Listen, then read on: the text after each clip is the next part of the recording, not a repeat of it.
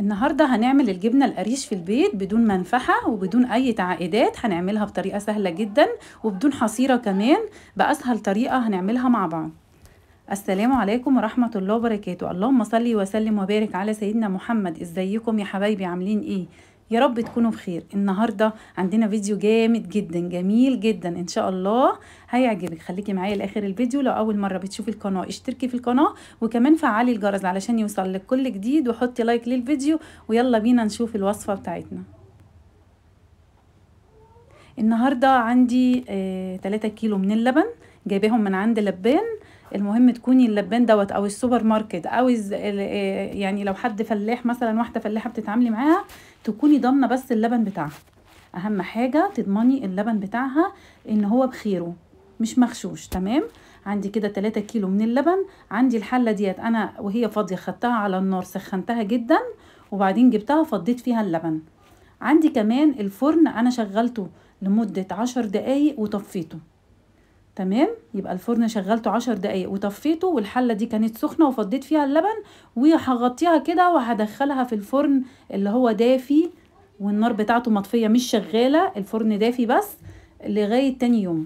كده تاني يوم قعدت 24 ساعة. يعني لو أنا حطيتها آه النهارده الصبح بكرة الصبح هطلعها من الفرن. تمام؟ بالليل يبقى بكرة بالليل هطلعها من الفرن. خلاص ما نهزش الحلة ولا نيجي جنبها خالص. بصي اللبن بقى جبنة معايا أهو. شايفة؟ بقى جامد جدا. عامل زي الزبادي أو زي الجبنة. متماسك جدا. هنبتدي بقى ناخد. القشطة بتاعته أو الكريمة اللي طلعت منه. بصي ما شاء الله. عشان كده بقولك لازم تجيبي اللبن من عند حد مضمون علشان يديكي كمية كريمة أو أو زبدة كتيرة جدا. بصي ما شاء الله السمك قد إيه. يعني بجد حاجة جميلة جدا. فأهم حاجة إنك تكوني ضامنة اللبن اللي انت شارياه. هناخد بقى القشطة دي أو الكريمة دي ديت يا جماعة اللي بنعملها سمنة فلاحي سمنة بلدي. تمام؟ باخدها كده بعبيها في علبة. لما العلبة دي بتتملى معايا ببتدي إن أنا أكورها أفصل منها المية اللي فيها وأبتدي أحطها على النار وبعملها سمنة بلدي. تمام كده؟ يبقى أنا ديت الكريمة بصي طلعت لي حوالي ربع كيلو أو أكتر كمان من الكريمة. آه وديت زي ما قلت لك اللي بنعملها اللي بنعملها سمنة بلدي هبقى أعملها معاكي في فيديو تاني إن شاء الله بأسهل طريقة. خلاص أنا ممكن أكون ما بشتريش سمنة من بره غير قليل قوي لأن أنا دايما آه باخد وش اللبن بشيله آه سواء بقى لبن هغليه أو هعمله جبنة. بعد كده جبت مصفى تحتيها بوله وجبت عليها شاشة والشاشة دي أنا مخصصاها أو القماشة دي للحاجات دي وبعد كده فضيت الجبنة. خلاص؟ الجبنة دي هنعملها جبنة قريش طبعا ف هنربط كده الشاشة بتاعتنا وتحتيها مصفى والبولة لازم تكون كبيرة علشان المية طبعا اللي هتنزل منها ما تبوظلكيش الرخامة أو تبهدل المطبخ. طبعا اللي بينزل ده اسمه شرش ده بنعمله في المعجنات مش بنرميه. بيبقى حلو جدا في القرص الفلاحي أو في أي معجنات. تمام؟ ممكن تعملي بيه بيتزا عادي خالص. هربط كده الشاشة بتاعتي وهحط أي حاجة تقيلة فوق ال طبعا أنا الشرش ده هاخده دلوقتي هشيله هسيبها تصفي بقية ميتها. لو عندك بقى كيس فيه بطاطس فيه بصل حطيه فوقيها يعني 2 3 كيلو كده حطيه فوق الجبنة. خلاص؟ وهنسيبها كده. أنا هنا كده بالليل هسيبها للصبح. هتقولي بس ده بياخد وقت. لا والله مش وقت ولا حاجة. هي آه خطواتها كتيرة بس مش بتاخد مجهود ولا وقت. ده كل ده في ثواني. يعني انت كل شوية بتعملي حاجة في ثانية. مرة فضيتي اللبن وشلتيه. مرة تانية آه شلتي القشطة وصفيتي الجبنة في المصفى. يعني خطوات بسيطة خالص ما بتاخدش مجهود ولا تعب بصي دي كده المية اللي نزلت أهي. بصي لونها اتغير إزاي؟ دي بقى مش بنستعملها. دي بقى ممكن نحط فيها نزود بيها المش أو أي حاجة. إنما الشرش بنعجن بيه. خلاص؟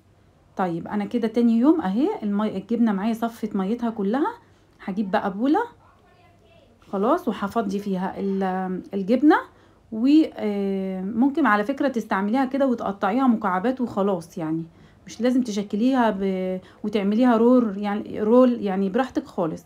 حطي بقى لايك للفيديو لو اول مرة بتشوفي القناة اشتركي في القناة علشان يوصلك كل جديد. خدت ربع معلقة من الملح والملح يا جماعة اختياري في ناس ممكن ما تحطش ملح خالص على الجبنة اللي هم مثلا ضغطهم عالي. في ناس بتحب الجبنة عدمه في بتحبها مالحة في وسط. ده بقى حسب الرغبة يعني ده انت وذوقك في الملح. خلاص؟ حطيت الملح وقلبتها كده كويس جدا جدا. وبعد كده هجيب بقى قماشة تانية. دي طبعا نضيفة غير اللي أنا كنت عاملة فيها الجبنة من الأول. أنا طبعا القماش ده بيبقى عندي كده قطعتين بخليهم للكسكسي وللجبن وللحاجات دي. بصي بقى آه، هفرد بقى الجبنة كده وهعملها رول. طبعا ده لو انت ما عندكيش حصيرة يعني مش لازم حصيرة خالص. أنا ما عنديش حصيرة ومش هجيب حصيرة لأن هي برضو ملهاش أي استخدام عندي فأنا مش هجيب حصيرة أصلا. أنا عندي كده آه، يا إما هعملها كده بالشكل ده يا إما آه، هحطها عندي مفرش كده مش مفرش يعني مفرش عامل زي الحصيرة تقدمي عليه الحاجة يعني فهمتيني؟ هو خشب كده. فدوت برضو هشكلها بيه. فلو ما عندكيش هتعمليها كده بالشاشة عادي خالص. هتلفيها رول وتضغطي عليها علشان تاخد شكل ال ال- آه، است- اسطوانة كده. وبعد كده هنقطعها آه، بالسكينة أهو. ممكن طبعا تعمليها كده. ولو عندك المفرش ده ده مفرش خشب كده مش حصيرة تقدري آه، تشكليها بيه برضو عادي خالص. فأنا وريتك أهو الاتنين علشان ما تحتاجيش للحصيرة ويعني بأي حاجة. ممكن أصلا آه، تقطعيها مكعبات زي ما شفناها كده بعد ما سبناها ليلة وخدت شكل مدور كده تقطعيها مكعبات وبرده هي جبنة قريش عادي خالص. أهم حاجة بس هنضغط عليها كويس وبعد كده هنقطعها بالسكينة آه، ونشيلها في التلاجة. خلاص بقت جبنة قريش معاكي زي الفل. وطبعا استفدنا بالزبدة.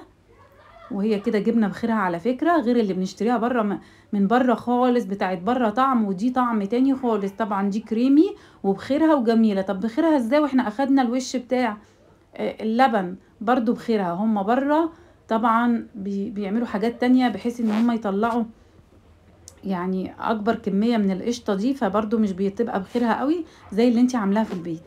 طبعا أنا بعمل الفيديو ده ده برضو هينفعنا في رمضان. للسحور وده برضو من تجهيزات رمضان بس أنا عملته بدري علشان اللي يحب بقى يعمله. انت لو حطيتي لايك للفيديو الفيديو هي... هيتحفظ عندك وفي أي وقت عايزة آه، تطبقيه أو تعمليه هتلاقي الفيديو محفوظ عندك يعني. تمام؟ في الفيديوهات اللي, اللي هي عجبتك اللي انت دوستي عليها إعجاب هتلاقي الفيديو معاهم. خلاص بصي بقى ادي الجبنة القريش بتاعتنا. زي ما قلت لك طعمها جميل جدا. على فكرة ممكن تعملي كمية كبيرة وتخزنيها في الفريزر وتطلعي على قد استعمالك وطبعا ممكن تشيليها في التلاجة وتستعملي منها تقعد معاكي برضو ممكن أسبوع ممكن أكتر طالما التلاجة بتاعتك كويسة وبتحفظ الحاجة كويس مش هيجرى لها أي حاجة. شايفة بقى الجبنة بتاعتنا؟ ما شاء الله جميلة جدا. طبعا حاجة نظيفة انت عاملاها بإيديكي وضمناها للي يحب يعمل. طبعا أنا عارفة إن الجبنة القريش متوفرة بره كتير جدا بس طبعا هي في البيت بتوفر. هي الجبنة القريش بره غالية انت في البيت بتوفري وبتستفادي لو انت عايزة تعملي سمنة. وكمان حاجة بقى انت عاملاها بإيديكي نضيفة وضمناها أنا الصراحة بحب أعمل حاجات كتير بإيديا ما بحبش أشتريها من بره. وزي ما قلت لك ما فيهاش أي تعب ولا أي مجهود هي سهلة جدا. شايفة بقى الجمال؟ ما شاء الله. طلعت لي بتاع 2 كيلو جبنة. بصي حطي بقى لايك للفيديو. لو أول مرة بتشوفي القناة اشتركي في القناة علشان يوصل لك كل جديد. والسلام عليكم ورحمة الله وبركاته.